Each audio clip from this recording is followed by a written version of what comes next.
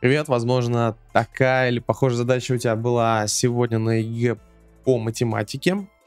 А, в банке был взят кредит на сумму 900 тысяч рублей на 3 года по 20% годовых. Известно, что в первые два года выплаты были одинаковые, а последняя выплата составила 1027,2 тысяч рублей, после чего долг был погашен. Найдите сумму платежей, так?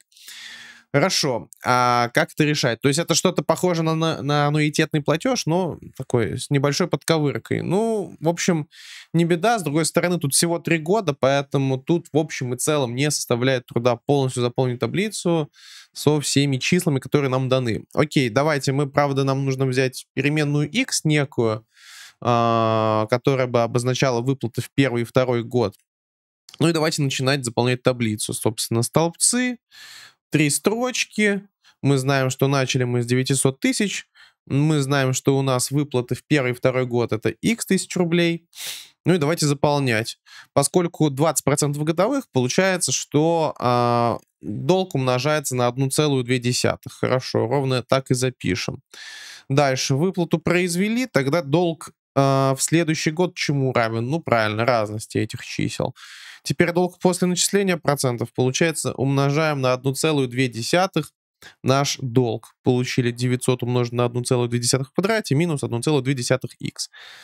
Выплату производим, получается долг здесь, это долг после начисления процентов минус выплата. Ну и получим вот такое выражение. Снова его умножаем на 1,2.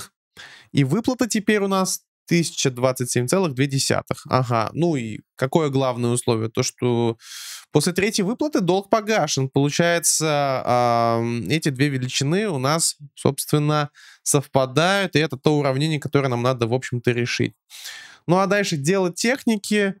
Э, просто считаем, считаем, считаем, получаем x равный 200. Главное не остановиться на этом моменте, потому что это еще не конец решения, ведь нам надо найти сумму платежей. У нас сумма платежей это вот сложить числа все в этом столбце. Это 2 икса плюс вот это число. Ну и складываем, получаем 1427 тысяч 2 десятых тысячи рублей. На этом все. Пока-пока.